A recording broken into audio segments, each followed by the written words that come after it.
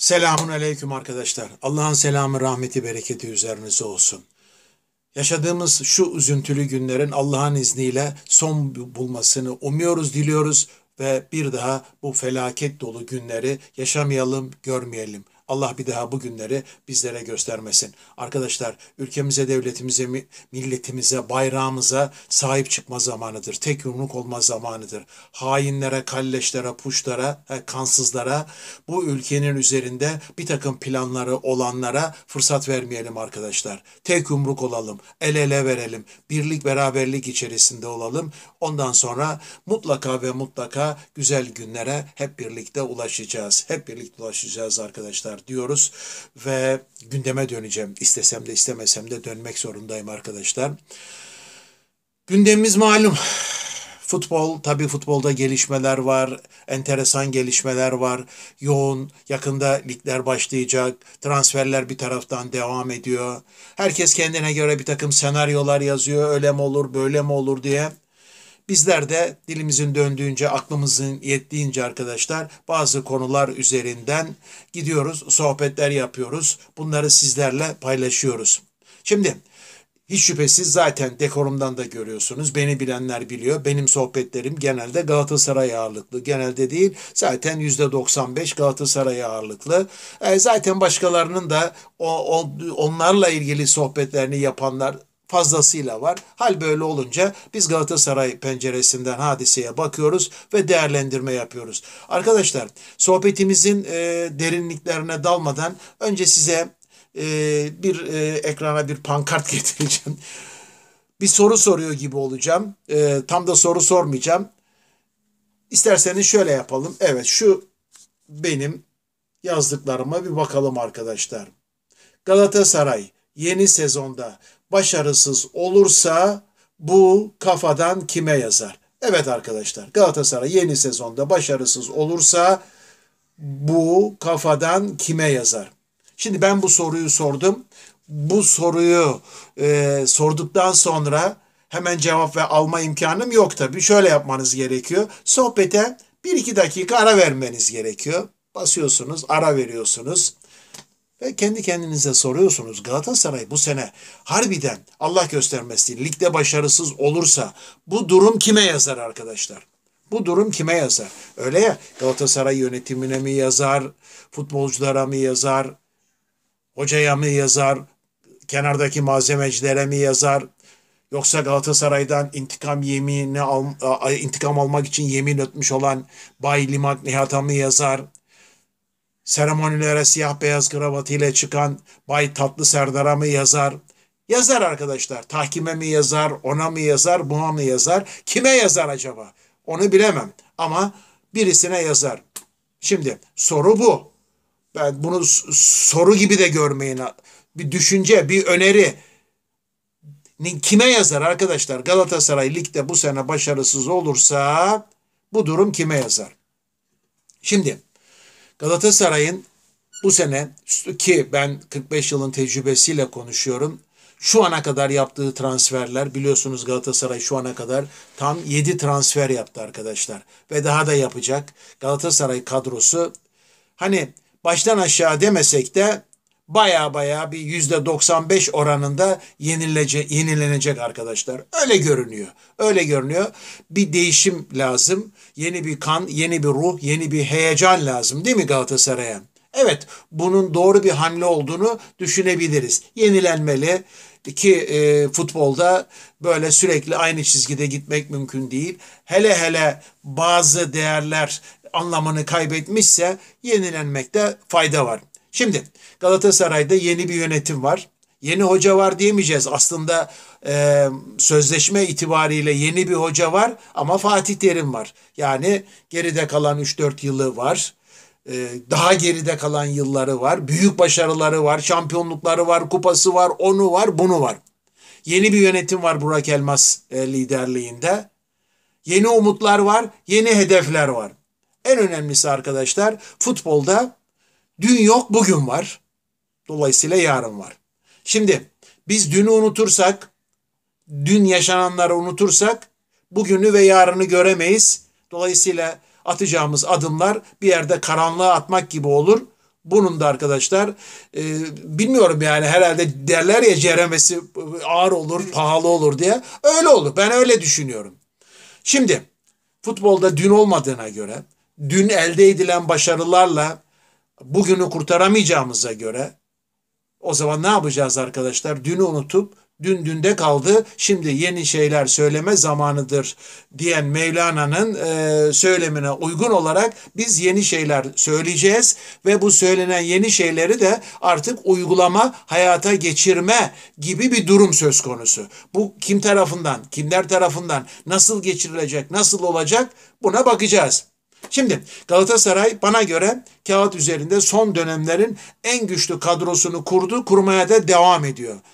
Yaş ortalaması öyle ya da böyle sahaya sürülen 11'ler dikkate alındığında 25 ve civarında olacak. Galatasaray'da kaliteli futbolcular var mı? Var. Şimdi arkadaşlar Galatasaray'ın başarısız olması için şu anda mevcut durumda ve geçmiş birkaç yıla da bakıldığı zaman diyorum ya geçmişten ders alacağız diye.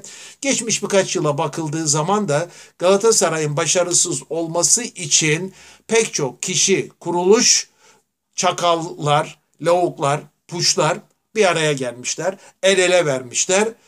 Bunu başlangıçta kısmen e, başaramamışlar ama başaramadıkları yerlerdeki eksikliklerini gidererek son iki yılda fazlasıyla başarmışlar arkadaşlar. Şimdi bazen deniliyor ki ya kardeşim senin eleştirdiğin bu hakemlerle bu TFF ile Galatasaray şampiyon olmadı mı? Evet oldu ama onların da bir tecrübesizlik dönemi vardı. Bunlar geldiler Galatasaray'a kazık atmak için her türlü yolu denediler. Her türlü kendilerine göre önlemlerini aldılar. Ama gözden kaçırdıkları ayrıntılar vardı.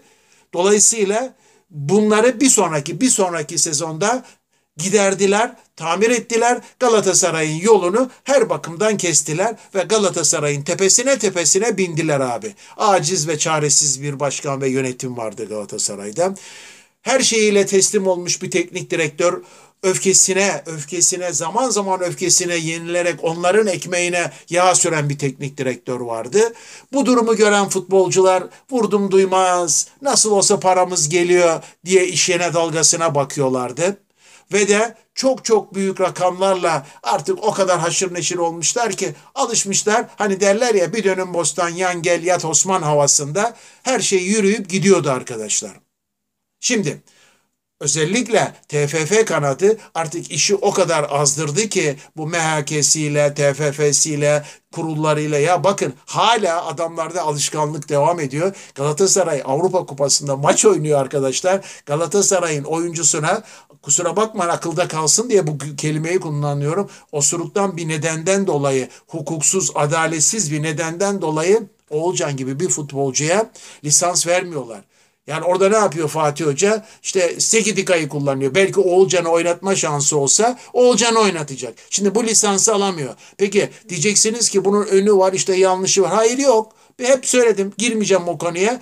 Opsiyonlar tek taraflı kullanılmaz ama öyle bir federasyon var ki bir tane kulüp geliyor opsiyonu tek taraflı uzattım diyor. Federasyon da onaylıyor. Hadi uyuşmazlık çözüm kurulu 6 maç ceza şu kadar para cezası cezalar çekiliyor. Yetmedi tekrar ceza tekrar ceza ve buna karşılık bir şey yapamayan bir kulüp. Hakkını arayan bir kulüp ama o diyor ki ben biz yaptık oldu kardeşim. Şimdi böyle bir TFF var. Böyle bir TFF'nin yanları var. Kurulları var işte seremonide siyah beyaz kravat takıp e, oralarda kupa törenlerine çıkan, kupa veren, bilmem plaket veren bir MHK başkanı var. Taraflı, yanlı, abidik, gubidik her türlü dümen var arkadaşlar. Çakallık almış başını gidiyor. Bunları biliyor muyuz? Biliyoruz. Bunları cebimize koyuyoruz. Demek ki Galatasaray başarısız olursa Galatasaray'dan intikam almak için yemin etmiş olan TFF başkanı, onun yancıları, MHK başkanı ki geçen sene Beşiktaş'ın nasıl şampiyon olduğunu ben her seferinde söyleyeceğim, hatırlatacağım. E, Bilongları, Abu Bakarları, dalga dümenleri, haftalarca kırmızı kart, sarı kart görüp cezalı duruma düşürülmeyen Rozierler, Gozierler, onlar bunlar abi. Daha neler gördük biz. Ama bunlara ses çıkaramayan, sus gelmiş olan, kal gelmiş olan bir e, Galatasaray yönetimi başkanı vardı arkadaşlar. Şimdi bir yerden başlanıldı. Hukuk kurulları işte değiştirildi. Daha doğrusu değiştirilmedi de değiştirilmesi için yol açıldı. Ama ne zaman değiştirilecek? Bu adamlar halen görevde kalacaklar, devam edecekler. Yani bu sene bunlar istedikleri gibi at koşturacaklar. Ama şöyle bir gerçek var. Bu hukuk kurullarının e, AHİM'den gelen e, Sedat Doğan marifetiyle gelen eğer karara bakılırsa bunların alacağı her karar zaten hukuk dışı, kanunsuz. Ne ceza verebilirler ne bir şey. Büyük tazminat e, maddeleri çıkabilir ortaya. Yani tazminat durumları çıkabilir. Bunu hayata geçirmek, bunu yapabilmek o kadar kolay bir şey mi? Bilemem. Yani peki Galatasaray başarısız olduğu zaman bu sene TFF'ye mi yazacağız, kurullara mı yazacağız, MHK'ye mi yazacağız, hakemlere mi yazacağız, sağ kenarındaki malzemeciye mi yazacağız, futbolculara mı yazacağız? Dalgasına dümenine bakan bir takım Galatasaray'da oh büyük paralar alıp yan gelip yatan futbolculara mı yazacağız? Yoksa tribündeki taraftarlara yoksa yoksa bizlere mi yazacağız? Yoksa yoksa arkadaşlar Galatasaray düşmanlığıyla ha, puştuklarını her gün artıran bir takım e, yazar yorumcu geçinen lavuklara mı yazacağız? Çünkü o kadar çok var ki, o kadar çok var ki. Arkadaşlar bakın ben şimdi e, 10 dakika geride kaldım. Hani derler ya zurnanın zart dediği yere geliyoruz.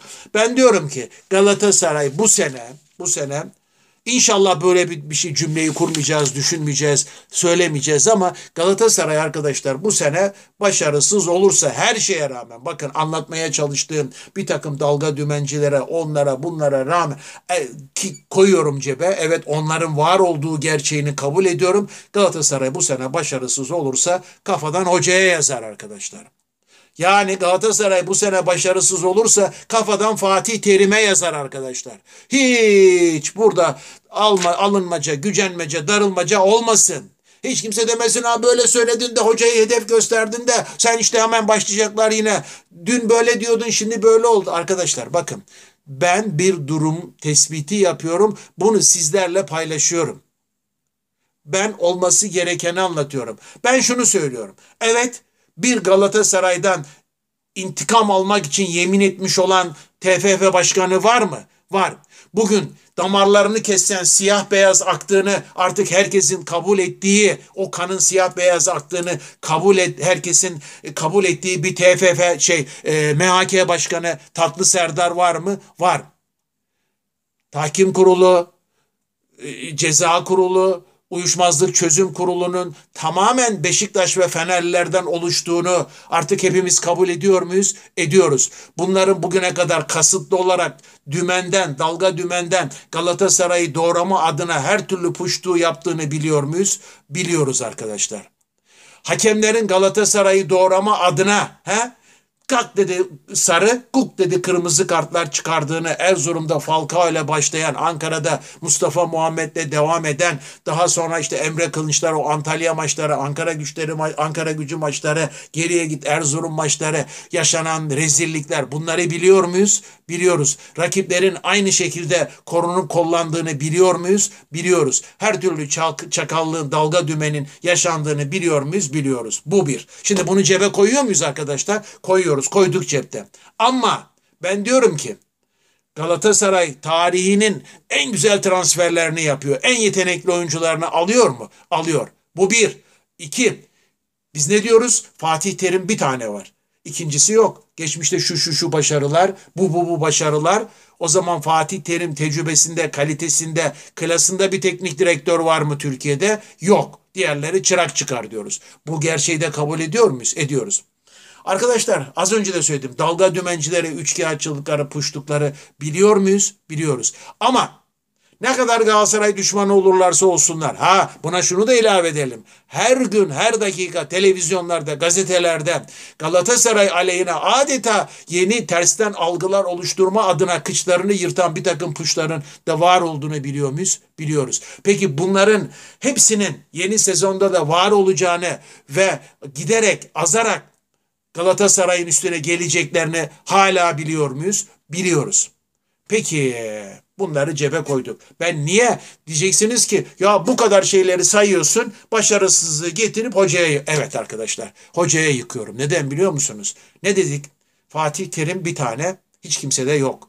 Bu kadro, bu oyuncular bu başkan, bu yönetim, Fatih Terim'e sunulan imkanlar, arkasında dik duran bir yönetim. Bunlar var mı? Var. Şimdi bunları da cebe koyuyoruz. Arkadaşlar en önemli yere geliyorum. Bakın en önemli yere giriyorum. Evet hakemler her türlü puştuğu yapar. Oyuncuma kırmızı kartı, sarı kartı haksız yere gösterebilir. Hainliğinden dolayı gösterebilir. Tatlı Serdar siyah beyaz kravatının gereğini yaptırır. Limak Nihat ettiği yeminin gereğine uygun olarak her türlü kararın alması için pisliği, puştuğu yaptırabilirler. Evet bunlar güzel. Ama bakın arkadaşlar benim sahaya sürdüğüm 11. Sahada 5 kişi de 6 kişi de 7 kişi de 8 kişi de kalsam hakemin her türlü doğramasına rağmen mücadele edecek. Oraya da nereye geliyoruz abi? Mustafa Başkan eski başkan Mustafa Cengiz'in söylediği yere geliyoruz. Ne dedi? Benim futbolcum ölümüne mücadele edecek. Haysiyetiyle, şerefiyle mücadele edecek dedi. Adamı linç ettiler. Adam doğru söylemişti. Ben de söylüyorum. Galatasaraylı futbolcu o giydiği formanın hakkını verecek. Canla, başla, kanla mücadele edecek arkadaş. Ölümüne mücadele edecek. Ha, peki bu mücadeleyi kim yaptıracak abi? Ben mi? Siz mi? Sen mi? Ben mi? O mu? Kim? Başkan Burak Elmas mı? Macir malzemeci bilmem kim? Doktor Yöner mi? Hayır abi. Bunları Fatih Terim yaptıracak. Abi bakın şimdi Galatasaray taraftarının büyük bir çoğunluğu yorumlardan biliyorum abi. Her sohbetin altına 300, 200 neyse yorumlar geliyor. Yazıyorsunuz sağ olun. Allah razı olsun. Düşüncelerinizi anlatıyorsunuz. Ben de mümkün olduğu kadar onları okuyor ve bilgi sahibi oluyorum. Ve Fatih Hoca'ya yani hadi yüzde elli demeyelim ama o orana yakın bir güvensizlik var. Neden? Fatih Hoca'nın şu yanlışı yapacağını, bu yanlışı yapacağını adam geçmişe bakarak görüyor. Şimdi en önemli yanlışlardan biri arkadaşlar ve Galatasaray'ın belki de PSV'ye elenmesine neden olan benim de sıkça eleştirdiğim geriye yana kaleciye geri pas. Bu ne ya? Bu ne? İşte o marka orada o kaleci aptalca ahmakça pası yapıyor. O geri pası yapıyor. Kaleci kontrol edemiyor. Gol geliyor. Ondan sonra arkası çorap söküğü gibi. Geçen sene Galatasaray Ali Samiyen'de Rize'ye yeniliyor. Ahmak'ın teki sol bekin taç atıyor. Lak lak lak ona. Öbürü öbürüne. Hadi bakalım ya kardeşim bu topu puşladan buraya kullanacağına şuraya kullan. Rakip yarı alana kullan. Galatasaray topu rakip yarı alanda tutmaktan, taşımaktan aciz mi? Değil. Geriye efendim neymiş? Top bende kalacak. Oyunun hakimi ben olacağım. Efendim maçtan sonra da top yüzde seksen oranında bende kaldı. Lan kalsa ne olur kalmasa ne olur? Üç tane yemişsin. Dört tane yemişsin. Yani nereye geliyoruz arkadaşlar? Galatasaray düşmanlara rağmen, puşlara rağmen, kalle, kalleşlere rağmen bakın arkadaşlar mücadele edecek. Sahada 5 kişi de kalsa kanının son damlasına kadar mücadele edecek. Gerekiyorsa Galatasaray'da geri pas, yana pas, kaleciye pas yasaklanacak arkadaşlar. Bunu oynatan teknik direktöre hepimiz abi ber yansın edeceğiz. Yok abi geriye, kaleciye, yana geri pas yok ya. Yok topu rakip yarına taşıyacaksın. Senin yarın etmeyen takımlar Galatasaray'ın bak yarısı çeyreğe yetmeyecek takımlar abi bir maç boyu Galatasaray'ın 5 dakika içinde yaptığı geri pası yapmıyor. Alıyor adam dikine dikine gidiyor. Benim topçum gitmez mi? Gider.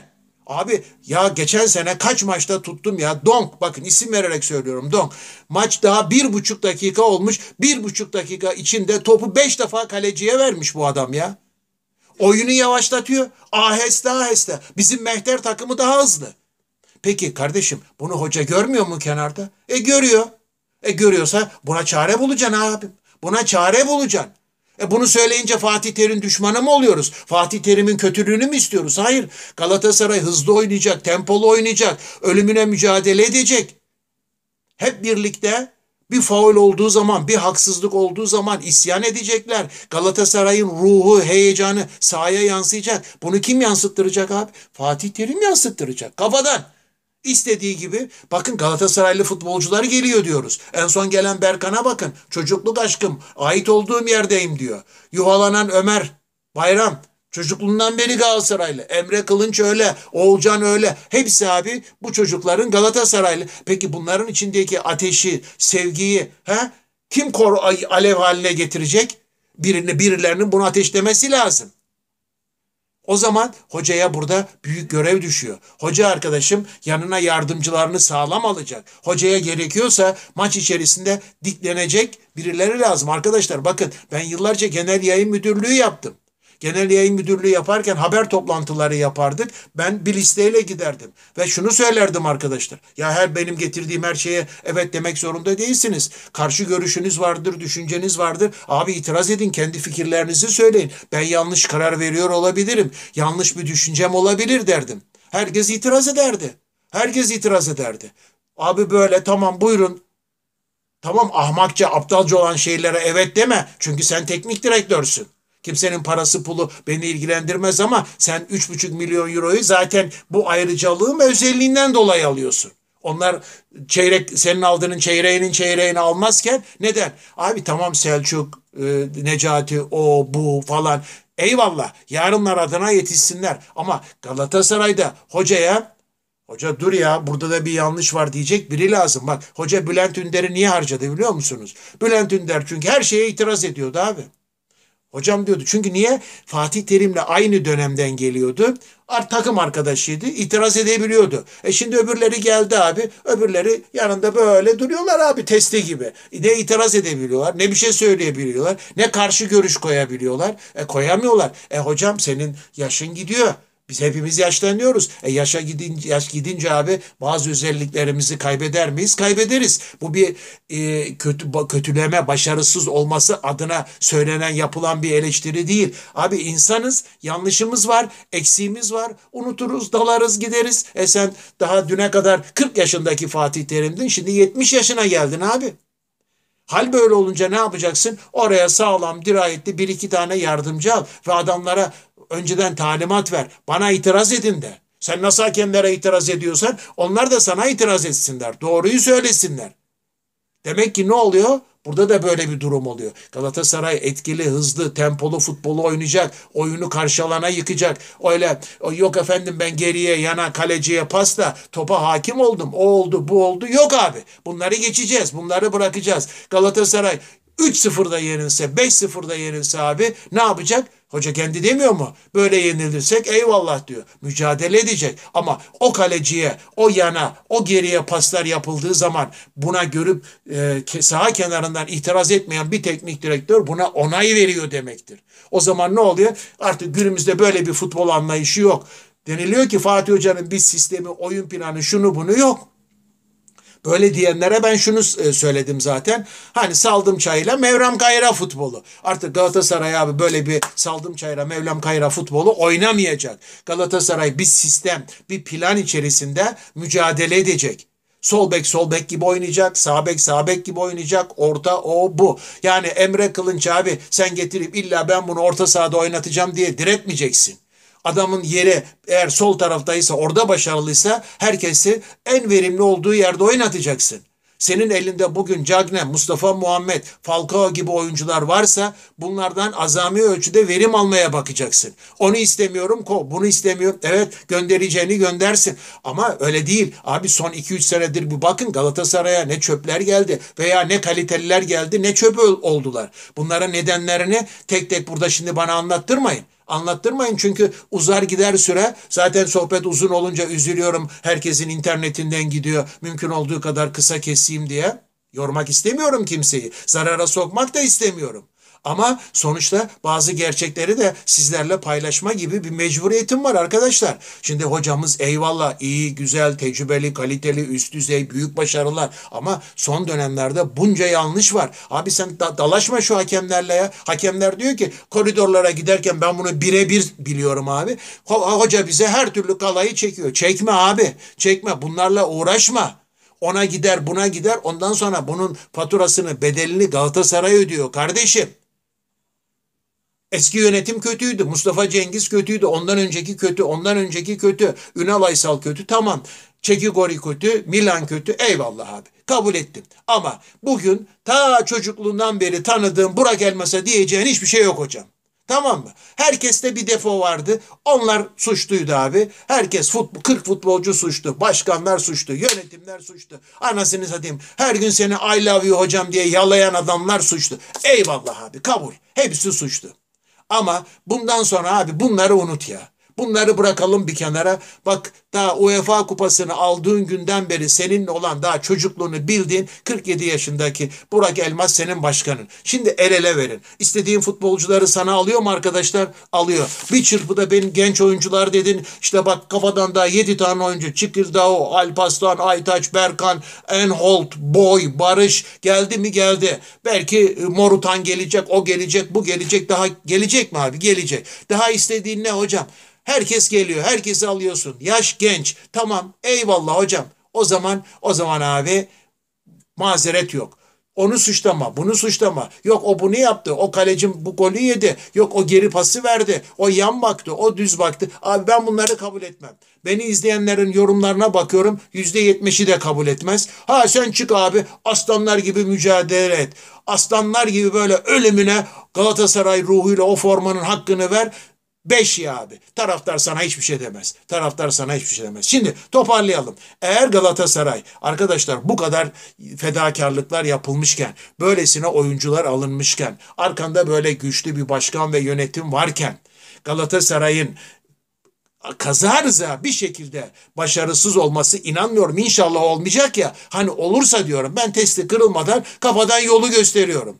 Galatasaray başarısız olursa abi ben ne Limak Nihat'a giderim. Galatasaray'dan yemin intikam almak için yemin etmiş olan Nihat'a giderim. Ne siyah beyaz Serdar'a giderim. Ne Galatasaray düşmanı ceza kurulu, tahkim kurulu UÇK'lara giderim. Medyaya giderim, ona giderim. Önce sana gelirim, yakana yapışırım hocam. Yakana yapışırım. Çünkü ne biliyor musun? Yenildiğin için değil, 3 puanı alamadığın için değil. Galatasaray'a böyle geriye, yana, kaleciye o ahmakça, aptalca pasları yaptırttığın için ya da o futbolcuların bunu yapmasına göz yumduğun için yakana yapışırım. Abi sen mücadele et. Aslanlar gibi oyna.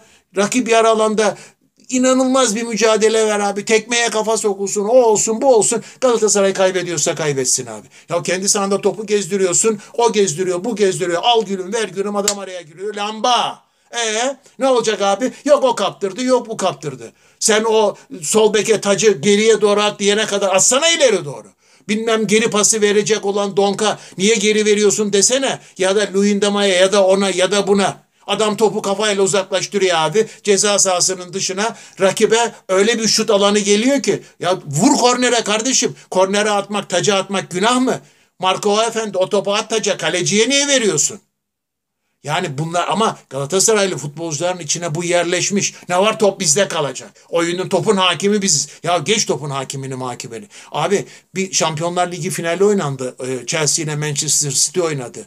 Ya kardeşim 90 dakika tempo. Herkes kaleye, herkes kaleye. Bir tane geri pası görmedim ya. Az önce de söyledim ya. O sırıktan teyyare bir takım geliyor. Abi çatır çatır top oynuyor. Bir tane geri pasını görmüyorum. Galatasaray'da bu takımın karşısında bile 30 tane geri pası. Kaleciye geri pas abi. Yok abi yok böyle bir şey yok. Kaleci yana geriye oraya buraya aldın mı git abi rakip kaleye git. Faul kazanırsın top rakibi bunaltırsın üstüne üstüne çullanırsın. Ben Cagney'i niye sol sıfırlıyorum. Yok efendim Falcao sakat. Abi Falcao'nun Cagney'in onun bunun en çok konuşulduğu konu para. İşte şu son dönemlerde onun aldığı para yok ona verecek para. Abi bu parayı konuşanlara Galatasaray'ın üstüne böyle ters algı oluşturmak için her türlü e, pisliği atan insanlara çökün başına. Alın tepesine, te, alın tepesine tepesine çökün abi. Oturtun şerefsizleri yağlı kazı. Galatasaray'a pislik yapıyorlar. Bunların ne olduğunu, kim olduklarını bilmiyor musunuz? Bunların nereye varmak istediklerini bilmiyor musunuz? Bunların kime hizmet ettiklerini görmüyor musunuz? Görüyorsunuz. Bu tecrübede insanlarsınız. Hepinizi tanıyorum kardeşim. Neden bunlara göz yumuyorsunuz? Yok mahkemeye vereceğiz o olacak. Ben daha bir tane mahkemeye verilip de kazanılmış bir dava görmedim. Yok vermiyorsunuz çünkü.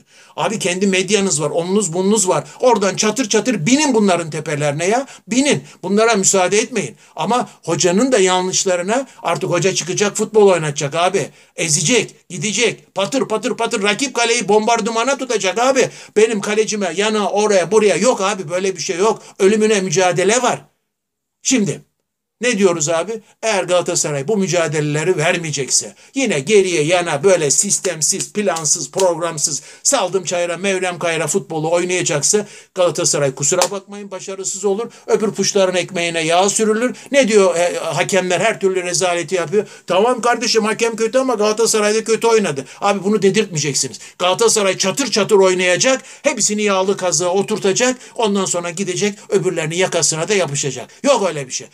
Ölümüne futbol oynayacak Galatasaray ölümüne. Eğer hocam Galatasaray ölümüne oynamazsa da başarısız olursa bu sistemsizlik, programsızlık o bu devam ederse o zaman oklar sana döner. Kusura bakma Ali Samiyen'de de bu taraftar sana veda ettirir. Bu işe veda ettirir. Benden söylemesi. Ben senin başarılı olmanı eski günlere doğru yelken açmanı ve de Galatasaray'ın inşallah Allah'ın izniyle ikinci UEFA kupasını da Ali Samiyen'e getirmesini umuyoruz, diliyoruz. Başarılar diliyoruz. Hadi bakalım hocam. İstediğin her şey var. Yağ, un, şeker, helvayı yapmak şimdi sana kalıyor. Göster kendini, kaliteni, tecrübeni, büyüklüğünü, he? tecrübeni göstereceksin. Fatih Terim olduğunu bir kere daha göstereceksin. Dünü unut. İbreyi başa al. Her şey sıfırlandı abi. Yürü be hocam kim tutar seni diyoruz. Taraftar da arkanda. Herkes tek yumruk inanıyoruz, güveniyoruz. Bütün olumsuzlukları bir kenara bırakıyoruz. Ama bunları da hatırlatalım ki olmasın bir olumsuzluk. Bir daha bir negatif duruma tersoya düşmeyelim arkadaşlar.